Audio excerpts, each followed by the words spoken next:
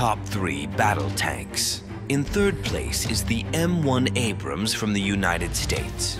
A marvel of modern engineering, it boasts advanced composite armor, a powerful 120mm main gun, and a multi-fuel turbine engine, making it one of the most formidable tanks in the world.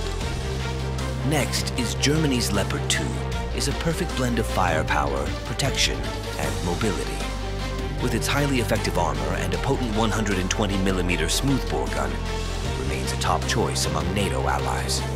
In first place is the South Korean Black Panther K2, which boasts a 40 miles per hour speed, while rapid firing a devastating salvo of 120mm rounds. It also launches the unique Korean Smart Top attack munition, which follows an artillery trajectory and slows itself with a parachute to maneuver toward an opposing tank.